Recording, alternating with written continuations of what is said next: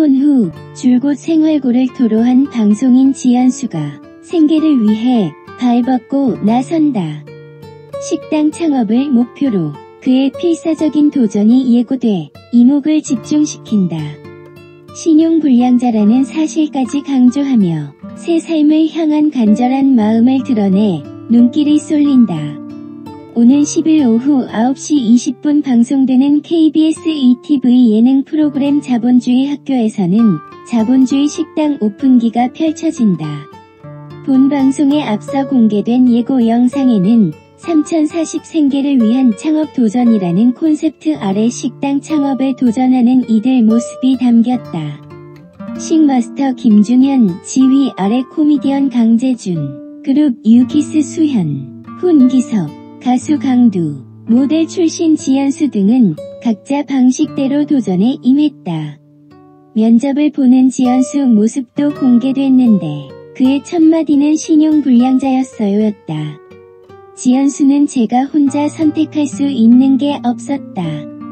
더 좋은 환경에서 더 좋은 부모를 만났다면 아이가 더 행복하지 않았을까 하는 미안함이 있다며 홀로 양육 중인 아이 이야기를 꺼냈다. 이어 제가 엄마인 게 미안하다며 눈물을 보여 안타까움을 자아냈다.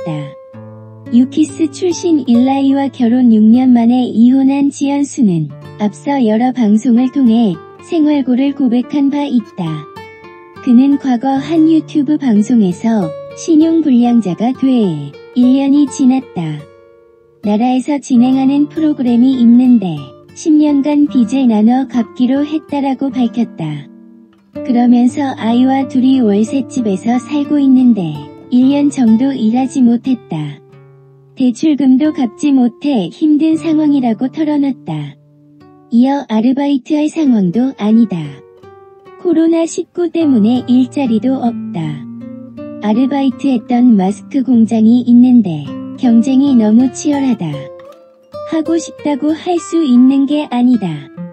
돈이 되는 거면 어떤 것이든 하고 싶다라고 토로했다. 아이를 위해서라도 새롭게 도전해보겠다 나선 지연수가 과연 식당 사장님으로 성공할 수 있을지 관심이 집중된다.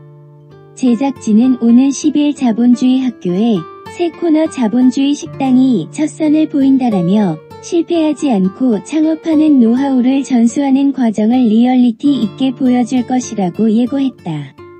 이어 각자 다양한 사연을 갖고 찾아오는 젊은 창업 후보자 중에 누가 선정될지 애정으로 지켜봐 달라고 전했다.